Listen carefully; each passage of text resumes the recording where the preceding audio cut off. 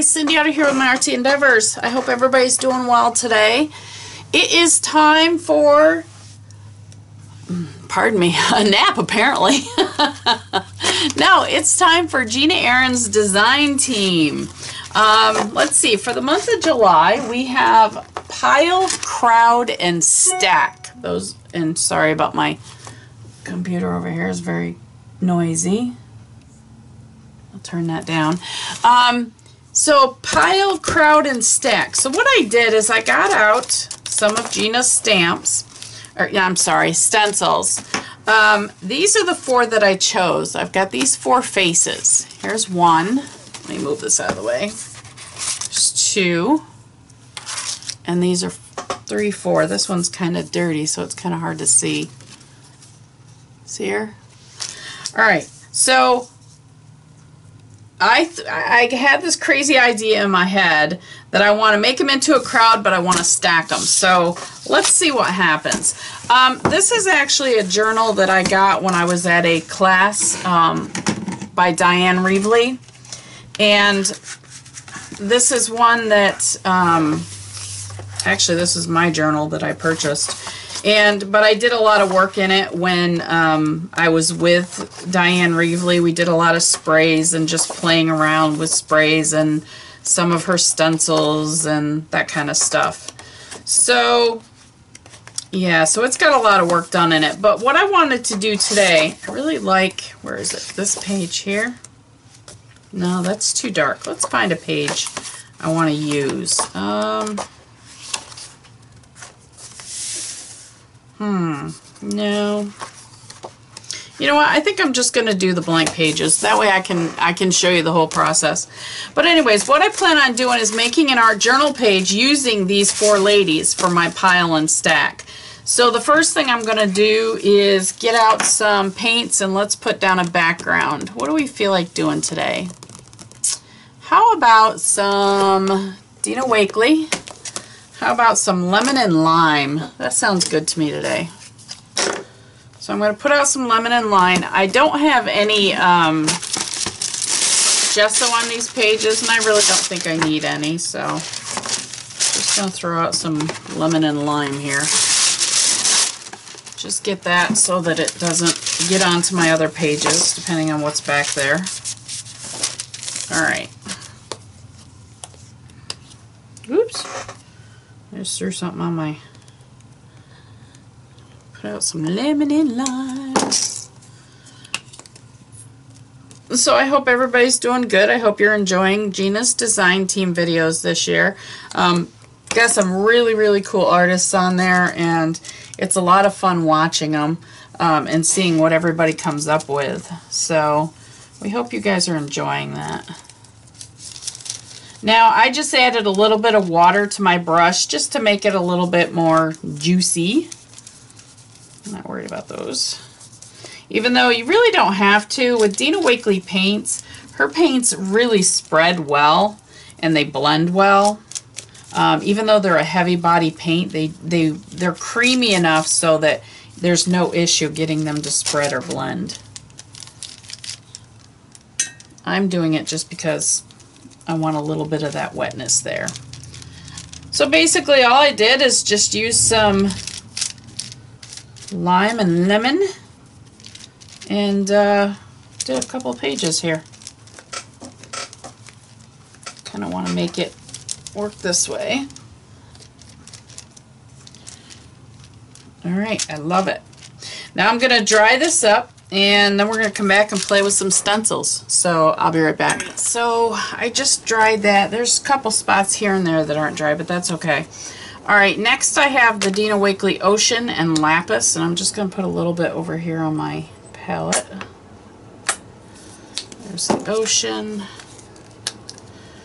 There's the Lapis. Okay, and I'm going to grab some of Gina's other stencils. Those are the faces. All right, let's see what we've got. Um, bum, bum, bum, what am I in the mood to use? Uh, I want this one.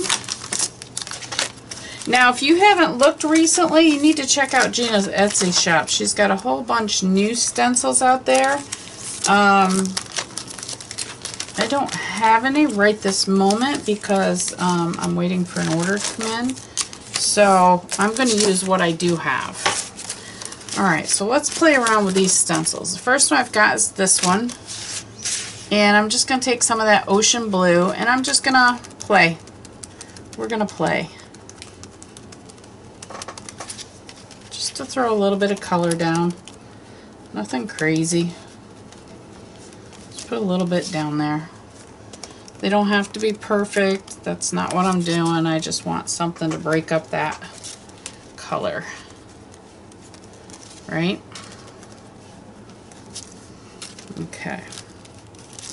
So just a breakup.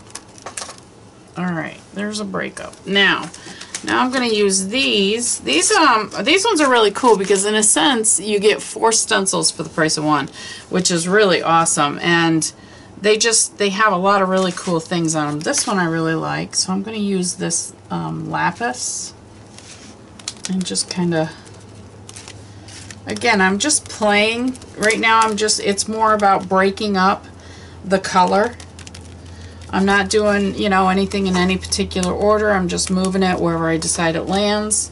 That's where I'm going to put the next stencil. And yeah, they all seem to be going the same direction. That's okay. I don't care. All right.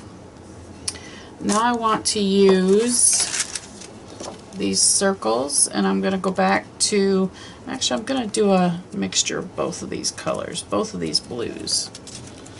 We're just going to do some circle.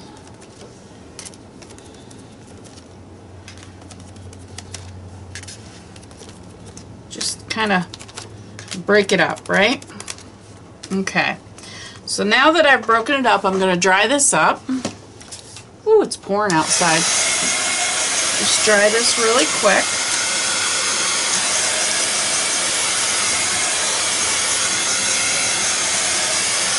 And now, because I've got so many, um, so many objects that are popping, I'm going to take a little bit of white gesso put it on my palette here.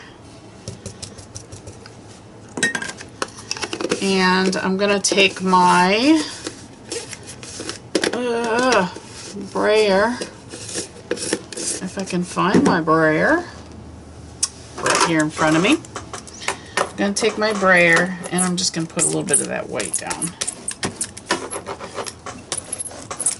it looks like I'm going to have to get more white on my palette here. And this again is just to add that next layer to kind of break it up a little bit. Uh,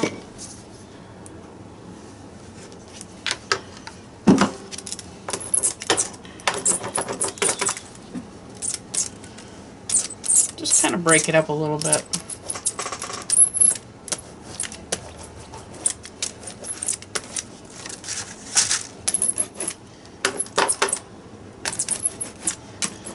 You know, I think I'm going to actually take a little bit of that blue on here as well. Take some of that blue off my palette. Just kind of move some of that stuff to the background.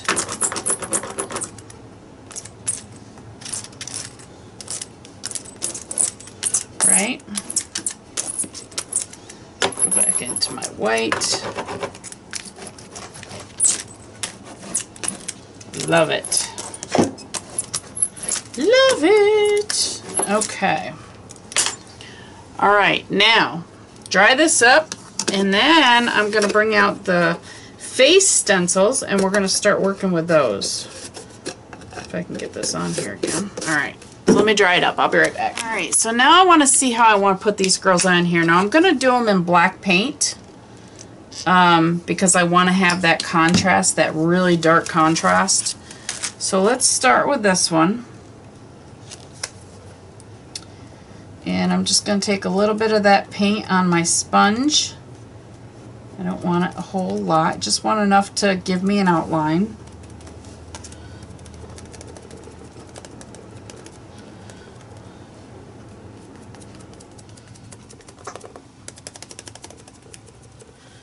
Just enough.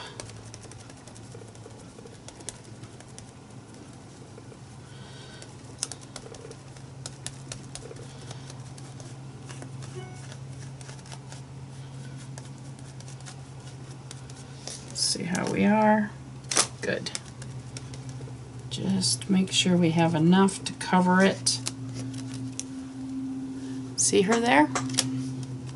That's what I wanted.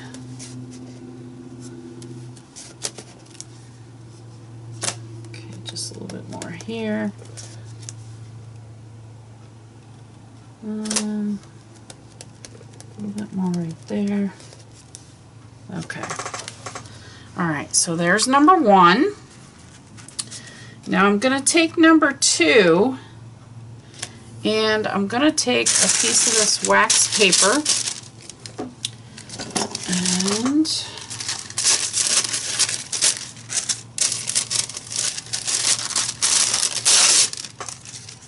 what I want to do is I just want to cover up this part here that I want to put her on. Okay, so here she is. This is number two. Oops, I just moved it.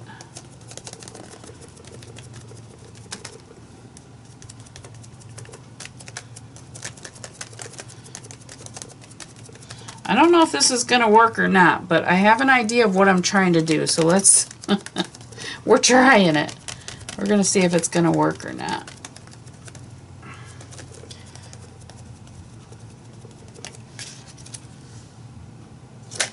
And it's okay about the words, that's not a problem. Alright, so there's two. Okay, now one thing I see right off the bat that I need to fix I want this to go like it's behind her head, not...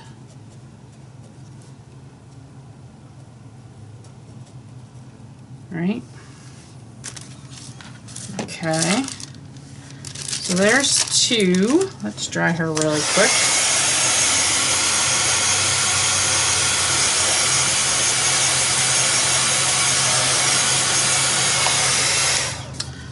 All right, so now we've got number three. Which I'm going to take her.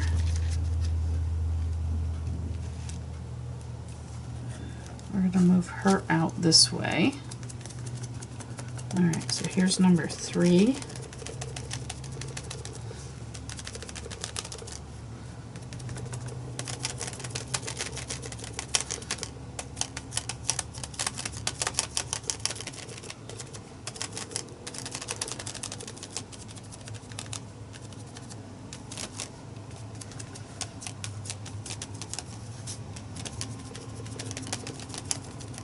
It is outside.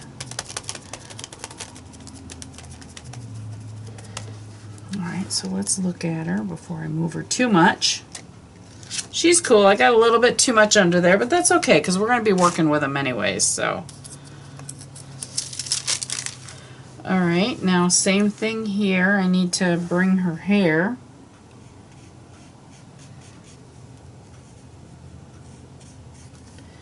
as though it's under this lady's right here.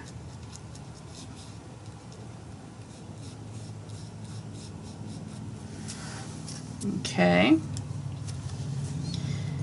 And let's dry her real quick.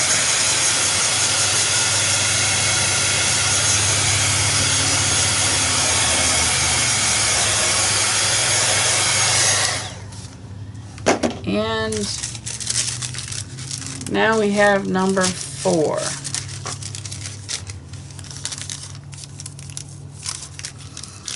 Okay, let's see. Let's see how we're going to do number four. I'm going to put her right here. We kind of moved these. This one's a little bit too far. Should have moved her over a little bit. You know what? That's okay. Let's put her right here. All right.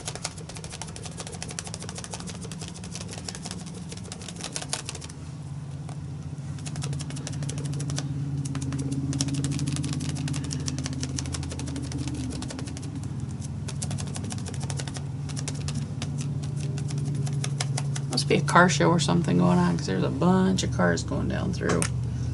Loud ones. All right.